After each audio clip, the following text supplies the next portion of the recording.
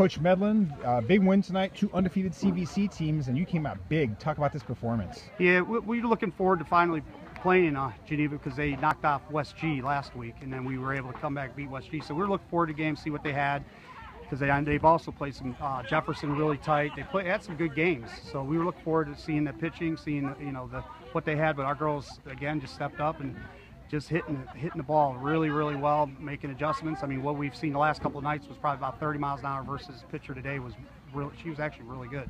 So um, yeah, just about making adjustments, and again, we did. And, and, and the girls are just very hungry, and they know that it's you know uh, playoff time's coming, and they're flipping that switch. I think you have eight girls in slam that are batting 350 or better, so there are no breaks against a pitcher, are there? No, there really isn't. I mean, that, that, they work very hard. These girls, and they know it, and they have known it, and they, I mean, the, seniors especially. I mean, four strong years of working in the cage, working on, on off season, and plus they're all travel girls, so they know how to make, you know, make adjustments quick.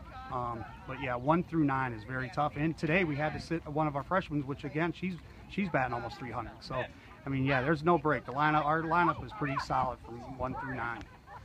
Not, I mean, you hit the ball, but you also put it in play where they had some errors. So, and when they did make errors, you made it hurt. Yep. And that's the key to success, I think, on any team is, you know, when we have runners on, we shorten it up. We focus on just putting the ball in play. We don't look for the big hit. We're looking just to make the defense make a play. That's what you do. Um, when you're, the, the thing of it is the girls just continue to battle. They don't, and then when 0-2, I mean, I'd love to know how many 0-2 counts we got hits.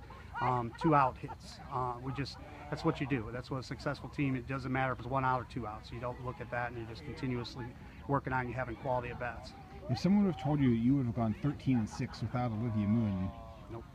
I wouldn't believe it. Not not at all.